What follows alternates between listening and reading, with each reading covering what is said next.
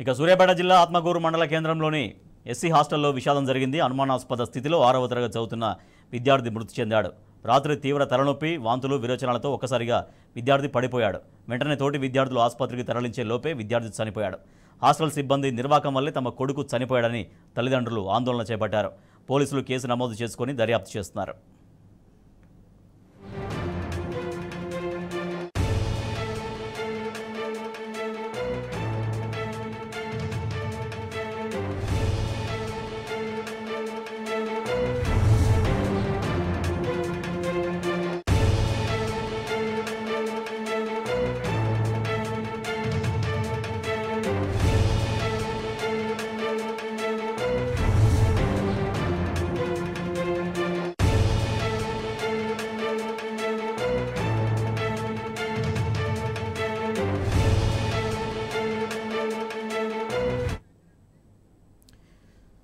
సూర్యాపేట జిల్లా ఆత్మకూరు ఎస్సీ గురుకుల హాస్టల్లో విద్యార్థి మృతి చెందాడు. దీనికి సంబంధించిన పూర్తి సమాచారాన్ని మా ప్రతినిధి రాము ఉంది సార్ రాము హాస్టల్లో విద్యార్థి చనిపోయాడు.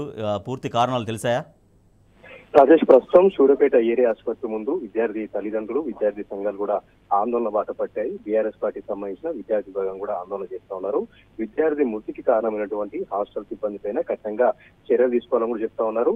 ఆరో తరగతి చదువుతున్నటువంటి ప్రశాంత్ నిన్న సాయంత్రం అందరితో పాటే ఆటలాడుకున్నారు. రాత్రి ఎనిమిది గంటల సమయంలో భోజనం చేసిన తర్వాత ఒక్కసారిగా వాంతులు విరోచనాలతో పాటు విపరీతమైనటువంటి తలనొప్పి వచ్చి ఒక్కసారిగా స్పృహ తప్పి కూడా తోటి స్నేహితులు చెప్తా ఉన్నారు.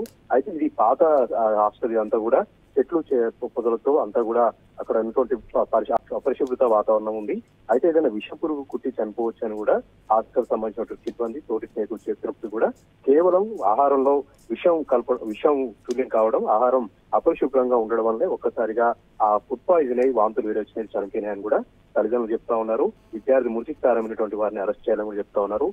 ఉమ్మడి నల్గొండ జిల్లాలో గురుకుల పాఠశాల విద్యార్థుల ఏదైతే మృతి అనేదో ఆందోళన కలిగిస్తా ఉంది. ఇప్పటివరకు దాదాపు నలుగురు విద్యార్థులు మృతి చెందారు. భువనగిరి జిల్లాలో ముగ్గురు సూర్యాపేట జిల్లాలో ఒకరు. ఈ రోజు ఐదో విద్యార్థి అని మనం చెప్పుకోవాలి.